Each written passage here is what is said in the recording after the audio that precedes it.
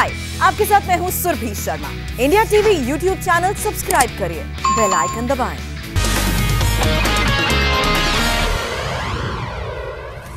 15 फरवरी को press conference के आरोपों पर गृह मंत्री अनिल देशमुख ने सफ़ाई दी है। उन्होंने कहा है कि कोरोना होने पर 15 फरवरी तक मैं नागपुर के अस्पताल में था।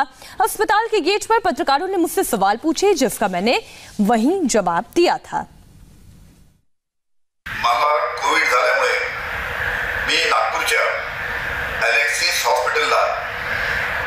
फेब्रुवारी ते पंधरा फेब्रुवारीच्या दरम्यान त्या हॉस्पिटलमध्ये ॲडमिट होतो. पंधरा फरवरीला माझा त्या हॉस्पिटलमधनं डिस्चार्ज झाला. डिस्चार्ज होत असताना मी हॉस्पिटलच्या बाहेर पडत असताना हॉस्पिटलच्या गेटवर अनेक पत्रकार त्या ठिकाणी उभे होते. त्यांना काही मला प्रश्न विचारायचे होते. त्यावेळेस मी कोविड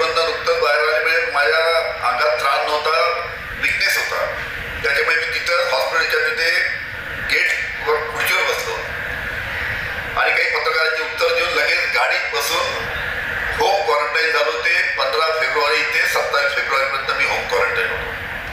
आणि अठ्ठावीस फेब्रुवारी, अठ्ठावीस फेब्रुवारीला मी घराच्या बाहेर पहिल्यांदा सह्याद्री गेस्ट हाऊस जे मुंबईचं गेलो. Hi I am Surabhi Sharma खबरों से अपडेट रहने के लिए India TV YouTube channel subscribe करिए। साथ में बेल आइकन ज़रूर दबाएँ। जुड़े रहें इंडिया टीवी के साथ।